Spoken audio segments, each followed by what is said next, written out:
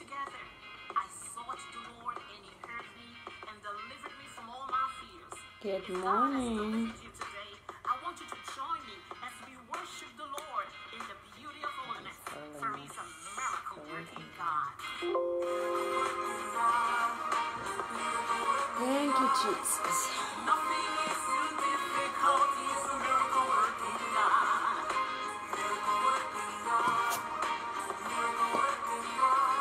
Morning. Good morning.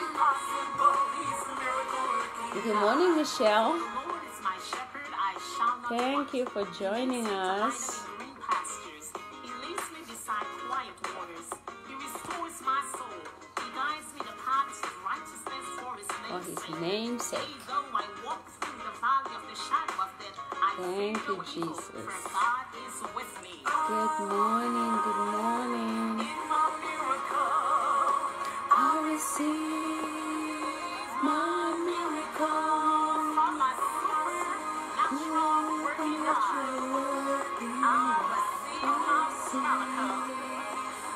working Michael.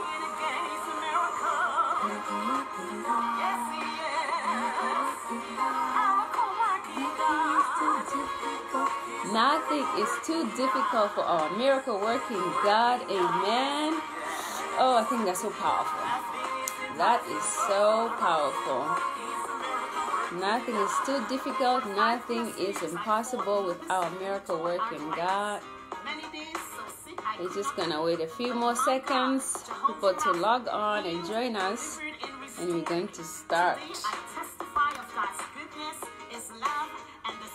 Amen, amen.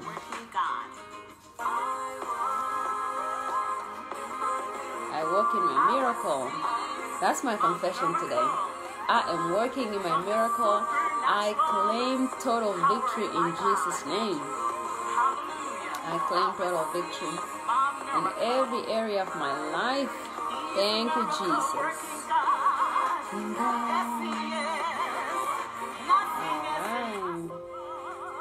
Nothing is impossible for our God. Hallelujah.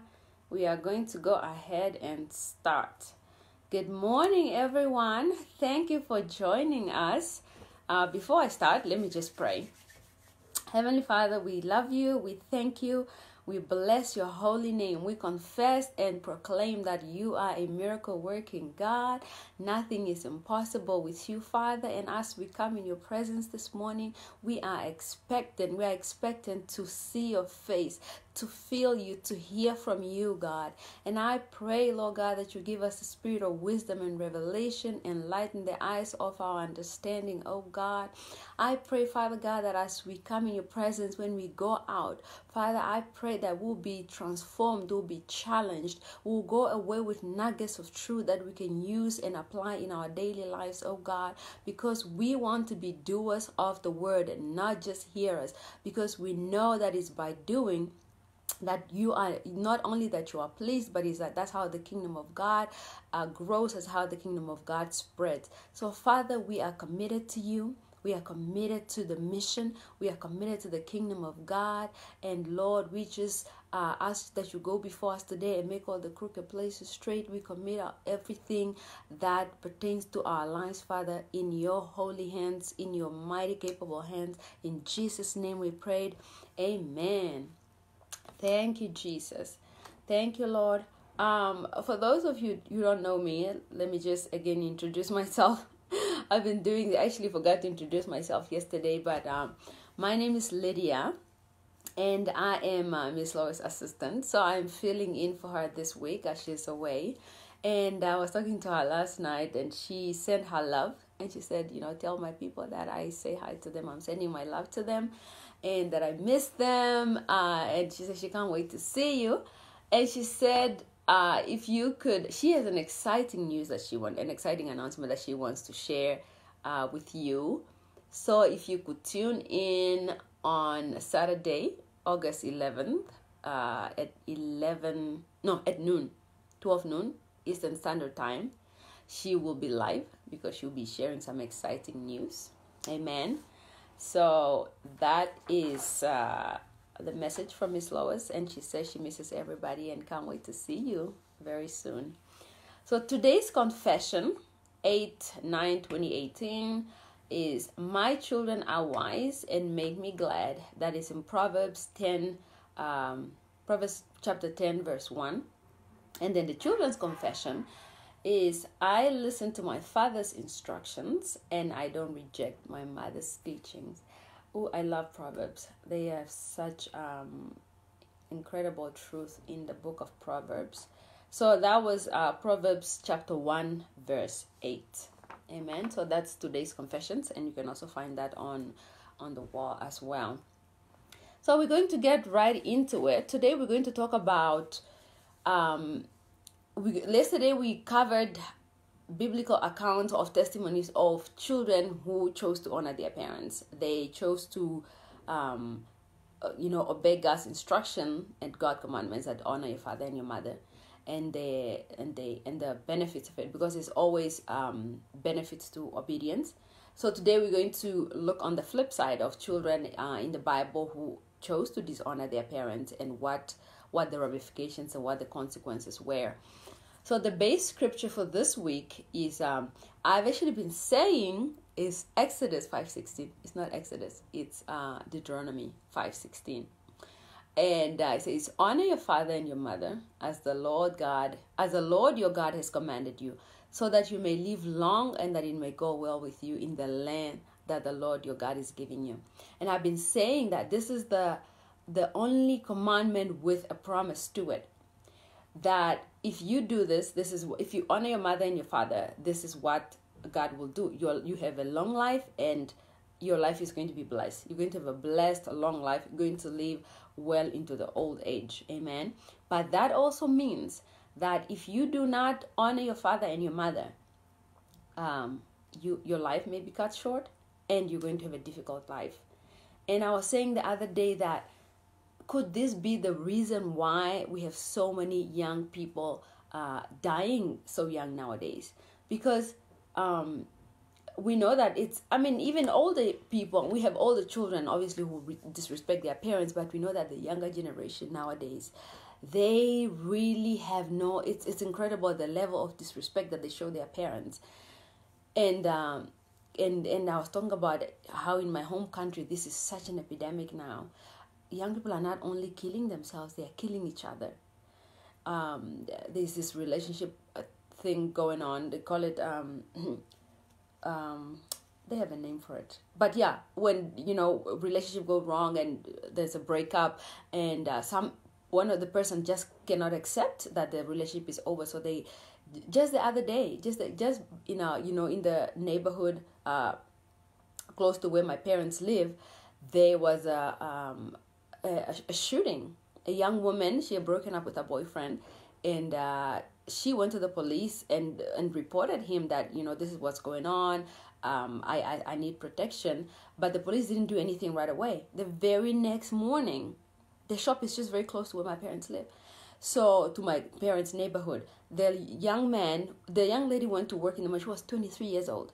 The young woman she went to work that morning and um, the boyfriend showed up there with a gun and he was a police officer showed up there with a gun shot her in the head shot himself that was it. But we hear about this type of things in my home country every other day. Every week there's something going on about a young person killing another young person because of this relationship thing or because they were they just got into a silly fight about just silly silly silly, silly just senseless. And we know we're in the last days, but my God, we have to be vigilant. We have to be vigilant in these very trying and turbulent times. Amen. So um, I'm going to read, you know, yeah, speaking of the last days, speaking of the last days, the Bible warns us of how things are going to be in the last days. So, Second Timothy uh, chapter 3, verse 1 to 5. And I always, I continuously read the scripture just to because we see these things in our daily life now. It's it's people that people that we know in our lives that we see that we interact with they do things that we never even expected. You're like oh my gosh i never thought he or she would do something like that. And um, the lord says i have warned you that you will not be shocked you will not be surprised when these things actually do happen. So the scripture says, people will be lovers of themselves, lovers of money, boastful, proud, abusive, disobedient to their parents, ungrateful, unholy, without love, unforgiving, slanderous, without self control. Oh my gosh. A person without self control is a very dangerous person. Brutal, not lovers of the good, treacherous, rash, conceited, lovers of pleasure rather than lovers of God. Having a form of godliness but denying its power. Have nothing to do with such people. Let me back up a little bit. Lovers of pleasure rather than lovers of them or, of, or rather than lovers of God. One time the Lord said to me, Lydia, people that choose sin over me, or that uh, people that choose to live in sin, it it it um it means that they love sin more than they love me. I was shocked. I mean, my heart was just broken when the Lord said that to me. I was like, that is true, God. And that, that is very true. People choose a life of selfishness, ungratefulness, disobedience, uh, recklessness, just living in sin, not lovers of pleasure rather than lovers of themselves. But we know that this uh, pleasure is only momentarily anyway, because there will be consequences, whether in this lifetime or in the next life to come. It's going to be the same. And disobedient, being disobedient to parents is so uh, to God is the same as somebody who's treacherous or considered uh, without self control, slanderous. It is a very serious sin. And um, having a form of godliness but denying its power. I feel like I needed to, to, to um, expand a little bit on that because the Lord gave me a revelation on that.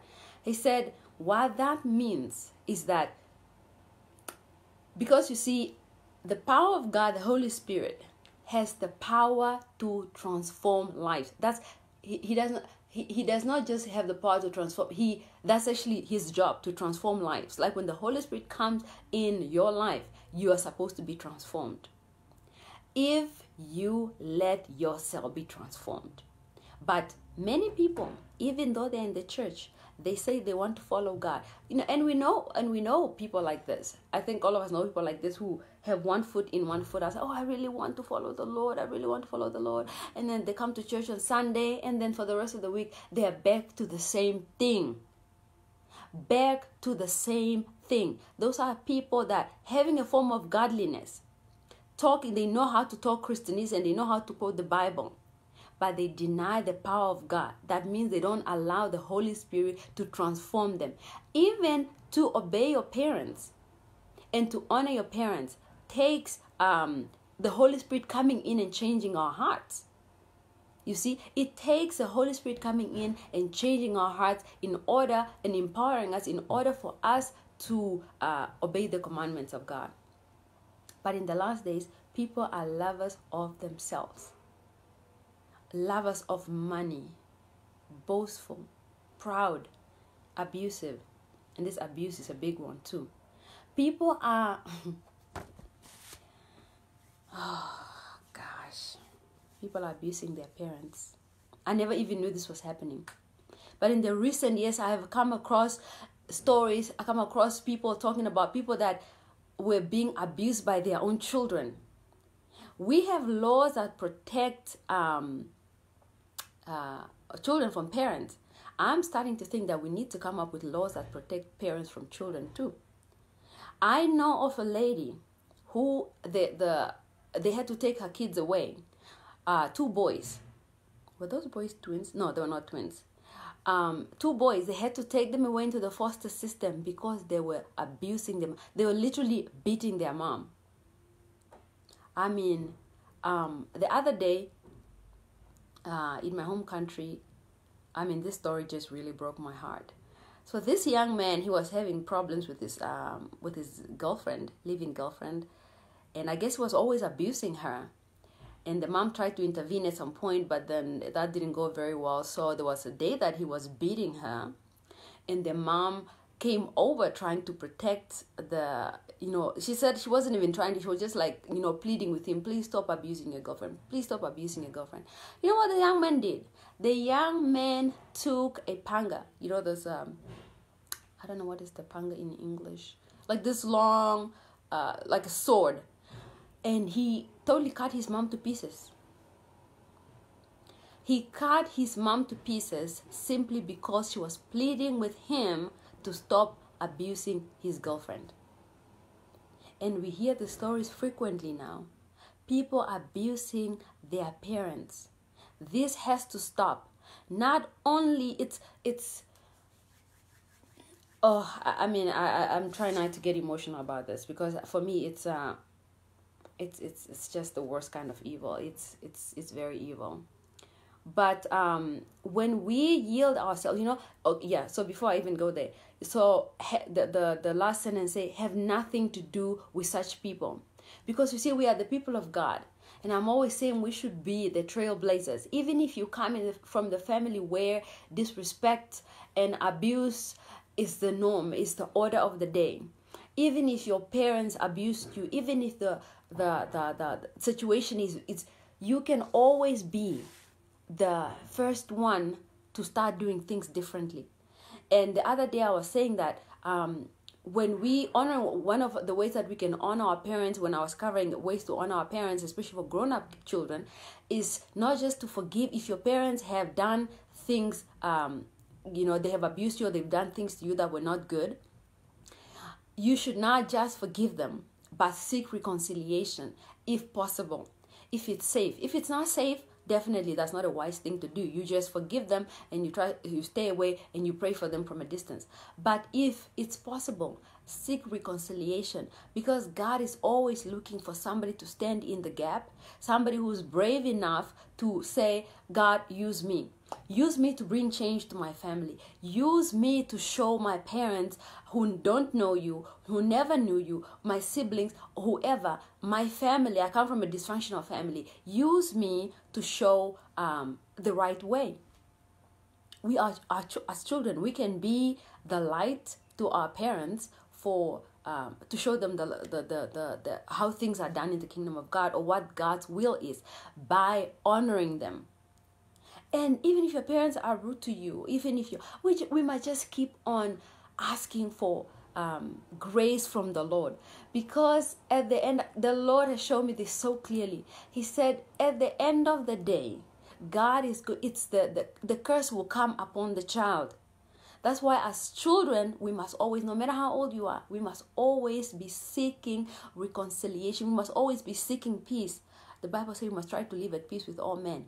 And I think our parents definitely are at the top of the list, are somewhere, not the, exactly at the top, top, but they are definitely priority to seek reconciliation, to live in peace with them where we can. And when things are very difficult, let us go on our knees and plead to the Lord Lord, what do I do? How do I break through? How do I show my parents love or honor them in a way that, that they can perceive or that they can receive? I have tried this, it doesn't work. I've tried this, it doesn't work. What can I do, Lord? Show me the way. This is why we have the Holy Spirit. The Holy Spirit enables us to do things that we otherwise would not be able to do in our own strength. That's why he came. You know, people always say, the Lord will not give you more than you can handle. That's a lie. The Lord would definitely give us more than we can handle. That's the whole point of the cross. So that when we come to the end of ourselves, God will take over from there. And at the end of the day, He will get glory. Amen. So in the Old Testament, in the Old and God's law is still the same, although now we are under grace, but the the the the um, the consequences are still basically the same. In the Old Testament, this is what what the the scriptures had to say about oh this is how what happened to children that were disobedient to their parents. So Deuteronomy 21, chapter 21, verse 18 to 21. If someone has a stubborn and rebellious son or daughter who does not obey his father and mother and will not listen to them when they discipline him, his father and mother shall take hold of him and bring him to the elders at the gate of his town. they shall say to the elders, This son of ours is stubborn and rebellious. He will not obey us. He is a glutton and a drunkard. Then all the men of his town of his town are to stone him to death. You must purge the evil from among you. All Israel will hear of this and be afraid. Now, in the under grace, we might not exactly um, have people stoning people. We don't stone people anymore. But what does the the the commandment say? Honor your father and your mother as the Lord God has commanded you, so that you may live long and that it may go well with you. So if you do not, the consequences still stand of death. If you do not, if we do not honor our parents or we, diso- we dishonor them, we do not obey, our lives will be cut short. So death is still very much in the play. It just comes out differently. It's just played out differently. But it's basically saying the same thing. In the Old Testament, they stoned people right there on the spot. Nowadays, just the curse will come upon us, different circumstances will happen, and will, will, our lives will be cut short. This is God's commandment, and it is serious. And I always say, God's commandments are not negotiable. God is not looking for opinions, He's not looking for our input. What He wants is obedience from us. And when the, the circumstances surrounding our situation is so hard that we feel like we can't do it, that's when we need to get on our knees and pray, say, God, enable me to do what I cannot do on my own. Enable me to forgive what I cannot forgive. What happened was too much, but God, I know that you commanded me to honor my father and my mother. So help me to get over my, my, over my circumstances. Help me to get over my pain. Help me to heal. And God is able. God is able.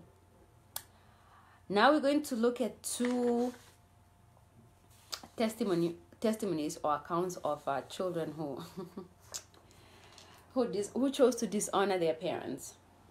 First, Luke 15, the story of the uh, the prodigal son. Let me just give some background information on the story. So there was a man who had two sons. There was a father who had two sons. One was a younger one, was an older one. So the younger one, um, he decided to go his, to his dad. He decided, and you know, this young one must have been really young because he, the, both of the sons must have been young because they were still living at home with their dad, with their parents. So this was not, I don't think these were grown children. So they were still living under the direct command, the direct um, authority of their parents. Amen. And we are again told to obey our parents. Not, so this is the story. Not long after that, the younger son got all together he had. So he went to his father and, and said, you know, please can you give me my inheritance? Can you give me what is due to me? I mean, I, I need to go. I, I need to go. I need to go and, and live my own life. I don't know what was going on at home, but he, he felt that he was better off going on off and doing what he wanted to do. Not long after that, the younger son got together all he had, set off for a distant country, and there squandered his wealth in wild living. This is what disobedience will do. A person who is disobedient, a person without self control, a person who loves themselves, who does not love God, who loves pleasure more than they love God, will end up spending squandering their lives in wild living. This is what this is where disobedience will lead you. When you're disobedient to your parents, you end up squandering your life and your wealth, everything in wild living. This is what disobedience does. After he had spent everything, there was a severe famine in that whole country, and he began to be in need. So he went and hired himself out to a citizen of that country who sent him to his fields to feed pigs. He longed to fill his stomach with the pods that the pigs were eating, but no one gave him anything. In other words, he was desperate. He had hit rock. He, he, he hit rock bottom. Imagine, uh, um, imagine the life that this young man was living having left behind his father, having disappointed his father, and uh, his whole family just went off and, and, and started just living, doing whatever he wanted. So now he got desperate. He was in need. So, he, but then, this is what I love always about um, the love of God. It's like as long as there is breath in us, we can always repent and turn. So this son has some sense in him. He knew how much his father loved him. You see? So what he decided was like, you know what? I'm going back home. Whatever the situation is going to be at home is going to be better than this. So I'm going home. Little did he know that his father was waiting for him. Even with all the dishonor that happened, the dishonor to the family name, to the way he treated his father, the way he dishonored his father, his father still loved him and was waiting for him. So when he got home, the father was waiting for him and really welcomed him. I mean, he had this whole, this young man, he had this whole speech uh, prepared about how he was going to, you know, say, Oh, father, I'm so sorry. I'm no longer worthy to be called your son. Just hire me as one of your servants. But that's not a father's heart. That's not a father's heart. Or at least that was not his father's heart the father really he he he missed his son and he wanted his father. So when his son came he was just so glad. So he welcomed him. He hugged him and kissed him and um, threw a feast for him. Such a wonderful story of father's love of repentance. I am glad you know i am so glad that this young man he came to his senses before it was too late before he got caught up in drugs and and, and, and, and gang violence and whatever and you know him get end up getting killed or contracting some uh, fatal disease or virus or whatever. He was able to repent and go back home. And that's a wonderful story. But it was his disobedience the way he decided to dishonor his parents that landed him in that situation in the first place. The stories these accounts in the bible and they are written there for us so that we can learn from them and so that we don't have to make the same mistakes. When I look at that story, I'm like, okay, I don't want to be the uh, I don't want to be that son. I just don't want to be that son.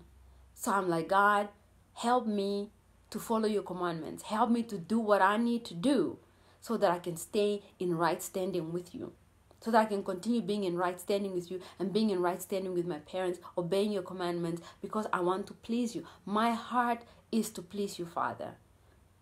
Not uh, my heart is not for the pleasures of the world.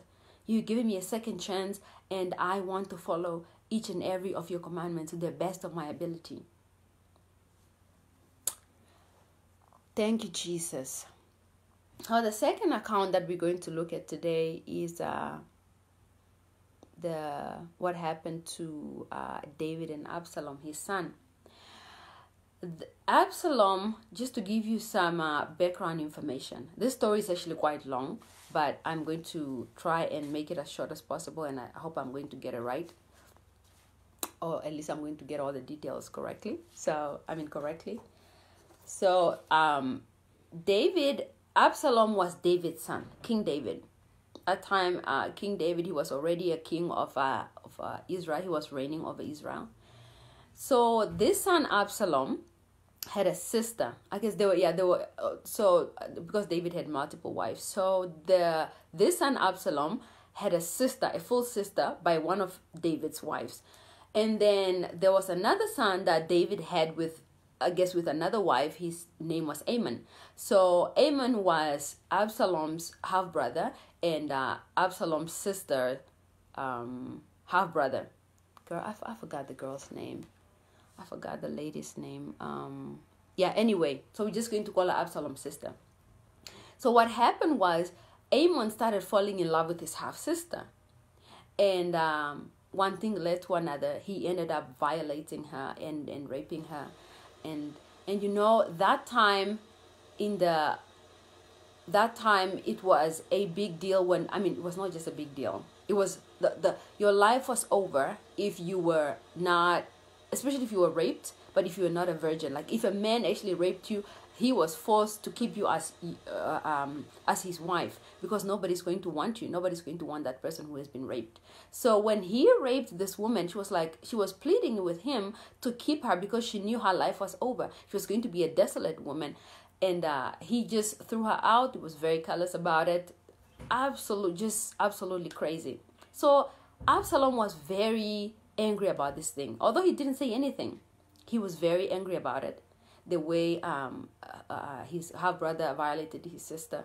So he took his sister and then she stayed in his house for the rest of her life. You know, as a desolate woman, nobody wanted her because she was no longer a virgin and she was raped. So Absalom just kept the matter to himself. And then uh, two years later, he conspired, came up with a plan, uh, and he ended up killing Amnon. Now, David, obviously, uh, this being his sons, this, this was a very difficult situation. And he knew, uh, and Absalom knew, you know, what the consequences might be, what his father might say or might do. So he ran away. And you know, David mourned for his son. He was really grieved about the whole situation. His children are turning against each other and all this different. There was just a lot of chaos going on. So Absalom ran away and then he was away for two years. Was it even three? He was gone for three years. But then um, David forgave and he really started longing for his son. So through one of his uh, assistant, his like um, arm bearer, I think, David's arm bearer, his name was Joab Joab saw how David was longing for his son, but perhaps he just did not have the courage to come out and say, Please, can you go get Absalom? So Joab came up with a plan. Uh, he worked it out, and finally, um, um, he came up with a plan to try to bring Absalom back. So that happened, and then Absalom came back. But then David didn't really want to see him. He was like, "No, I, I'm not ready to see him." So he stayed. Absalom stayed for two years, you know, in the surrounding area in Israel, but he did not see his father. So he, but he longed to see his father so he finally requested i really want to see my father. Why did you bring me here if he didn't want to see me? Why did he allow me to come back? So uh, they worked it out. Uh, absalom was able to see his father and they started a relationship again. Things were kind of back to normal. But then absalom's heart started getting um, let us go back in the last days. People will be what lovers of themselves, lovers of money, boastful, proud, abusive, disobedient to their parents, ungrateful, unholy, without love, unforgiving, slanderous, without self control, brutal, not lovers of the good, treacherous, rash, conceited, lovers of pleasure, than lovers of God. This um, works of uh, works of the flesh started taking over Absalom. This is what the Bible says. In the course of time, Absalom provided himself with a chariot and horses and with 50 men to run ahead of him. You see how pride was coming in his heart? He would get up early and stand by the side of the road leading to the city gate. Whenever anyone came with a complaint to be placed before the king for decision, the king was his father, hmm, David, to be placed before the king for decision, Absalom would call out to him, what town are you from? He would answer, Your servant is from one of the tribes of Israel. Then Absalom would say to him, Look, your claims are valid and proper, but there is no representative of the king to hear you. oh, that see the devil working? And Absalom would add, If only I were appointed judge of the land. Then everyone who had a complaint or case would come to me, and I would see that they receive justice the Bible talks about the uh, the one who flatters his neighbor. That's the right there. Flattery, speaking words, gla- you know, glazing the words with honey. Also, whenever this is this is Absalom speaking. Also, whenever anyone approached him, oh no, this is not Absalom speaking. This is just a scripture. Um, the text continuing. Also, whenever anyone approached him to bow down before him, Absalom, he Absalom will reach out his hand, take hold of him, and kiss him. Like, oh no, you are way more important than I am. I'm here to serve you. Absalom behaved in this way toward all the Israelites who came to the king asking for justice, and so he stole the hearts of the people of Israel. And I always add, away from David, away from the king, away from his father. You see how this boy was honor, dishonoring his father after the way his father forgave him, after the way the father eh, um, allowed him back and, and, and really showed him grace and, and forgave him and was trying to seek a, a reconciliation with and a, in a relationship with him. Then Absalom started uh, conspiring against his dad, like deliberately. He started conspiring against his dad. And there was a man that used to um yeah, before I get to that. uh, So he started conspiring against his dad deliberately and then um he started you know telling everybody that you know i can be a better king to you i can do all these different things. So the hearts of the people of israel were with absalom. It came that he has such a huge following and people's heart were turned away from from david. So now you could see what was happening now absalom decided to to to he wanted to kill his father he wanted to absalom was the, the takeover was happening now so David decided, okay, me and my people, we have to flee. Otherwise, we will never survive um, what Absalom is doing. He's definitely, he was going to kill his dad. He wanted this throne. My gosh, I- this is this is dysfunctional on another level. I'm telling you, the things that the devil convinces people to do. So David fled with his people. This man was the king of Israel, but he ended up in the desert, hungry, desolate. He was walking around the desert uh, with his, you know, they said he didn't even have shoes. He didn't even have shoes. He was now like a fugitive in his own land, running away. His father, his own son, was pursuing him, wanting to kill him because he wanted the throne. So what happened? there was a man so all the people that used to serve uh, david they turned against him or some of the people turned against him and they started serving uh, absalom. And one of the, those men was ahithophel. This was uh, david's close counselor. He was always giving him advice about what to do. And they said they trusted in this man so much that when he spoke it was like uh, counsel from god. They didn't question him so he turned now david realized he was in trouble because now ahithophel was advising Absalom, and Ahithophel always had such good advice. So that's when David prayed and said, "Lord, turn Ahithophel's um, advice into counsel into foolishness, like you know, confuse their tongues, uh, cause commu- communication and miscommunication in the camp of the enemy." So when David um, was now living, you know, running from place to place, luckily he had people still in the in the in the back at the palace where Absalom was. So they were kind of giving him information what was going on, and then he would run from place to place. They said, "No, no, you know, move this way. Absalom is coming, you know, to to look for you here." And then he, they kept on running, going from place to place. So then one time came, uh, so Absalom was like, "You know what? We need to go out and hunt this man down, uh, David, and kill kill him. Like I want to take over now." Then Ahithophel said, no, no, actually, it was Ahithophel who gave Absalom that advice that this is what you need to do. You need to go out and uh, hunt for your father and kill him and just take over. They had another advisor. But remember, the, uh, David had prayed, Lord, turn Ahithophel's counsel into foolishness. So they had another counselor who they also trusted. Absalom also trusted. So he went to that counselor and said, This is what Ahithophel said. What do you say?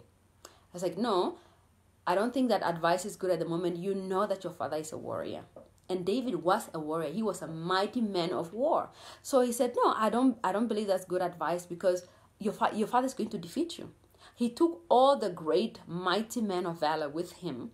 So your army is not and then if you get defeated, uh, every every everybody's you know everybody's going to be scared and they're going to turn away from you. So that's not. I don't think that's a wise thing to do. It's like yeah, I think you're right. That's not a wise thing to do. So what happened was, uh, but the Bible says, um, this was God turning Ahithophel's uh, advice into foolishness, right? So what happened then was, um, eventually they ended up um, pursuing. They ended up coming face to face the two armies. Like I said, it's a long story, so I'm trying to compress it so it doesn't take too. It doesn't take uh too. It doesn't take too long. So they ended up coming face to face with the armies, right? Like the war was actually on. And the war was really brutal. So many men were killed and just different things. But even before I, I get to that, that part, I'm telling you, this young man, Absalom, he humiliated his father and dishonored his father. He was having sexual relationships with his because his father left some of his concubines and wives back at the palace. He was having uh, uh, affairs with his father's concubines in the in the sight of everyone and he was spreading all the type of rumors against his father and i mean just complete complete dishonor in you know in just the worst possible way that you can imagine so the two armies came face to face. And then uh, when david saw that okay this is the moment like this is the moment now we are going to we are going to war and anything can happen. He gave i mean the, this man still loved his son. So what he said to the commanders of his army said be gentle with the young man absalom for my sake. That means don't kill him whatever you do you know don't don't don't kill him be gentle with him but um they didn't listen to him especially joab because joab was always the one vying for he was the one who advocated for for um for absalom to come back and just the way he turned against his father. So what happened to Absalom? This is the end of this this is the end of, of, of, of dishonor. This is what led what this is what his dishonor led to. Said uh, now Absalom happened to meet David's men. He was riding his mule, and as the mule went under the thick branches of a, of a large oak, Absalom's hair caught in the tree. At the beginning of the, of the, the script, at the beginning, of the story he talked about how Absalom's hair was so beautiful and so long and just so lush and so that if they would cut it they would it would weigh so much he said he was such a handsome man there was no blemish there was no flaw on him and i think no wonder why he got no wonder he got so proud because people were probably always uh, praising him and saying uh, all kinds of um, uh, um, you know they were always praising him which really um, brought up pride in his heart. So his hair got caught in the tree. He was left hanging midair while the mule kept riding on. And then Joab and you know the the, the other commanders that you know found, saw him they didn't kill him because they really listened to the king's um, command that no we're not we're not going to kill the king's son but joab he came and he said no we're going to kill this boy the, what he did was not right so he he uh they struck him down and they killed him. This is the end of Absalom's life. Imagine how differently his life would have turned out, how differently things would have gone. Had he just decided to come home, his father welcomed him back home. He decided to honor his father and serve his father just like the rest of the people were doing. Imagine how differently his life would have been. Now, his testimony is written in the Bible that thousands of years later, we're still reading about his testimony. And I am now here making an example of him as not the way to treat your parents, not the way for me to treat my parents. So, the way we live our lives, the way we choose to follow or dif- not follow God's commandments, will, dis- will determine what kind of testimonies we people are going to say about us. So we have to ask ourselves, what kind of testimony do I want people to tell about me? Do I want to be the prodigal son? Do I want to be Absalom? Or do I want to be? Yesterday, I I, I spoke of, people like Esther and uh, and Ruth, how they Ruth chose chose to honor his her mother-in-law, and how God brought about restoration in such a major way because of the way this woman humbled herself and chose to serve and honor her mother-in-law. So, what kind of testimonies do we want um, written about us? What are people going to be saying about us thousands of years from now, hundreds of years from now? When we get to heaven, what is God going to say about us when we have to give an account of our lives? We must honor our parents. God's uh, uh, commandments are not negotiable. Thank you, Jesus.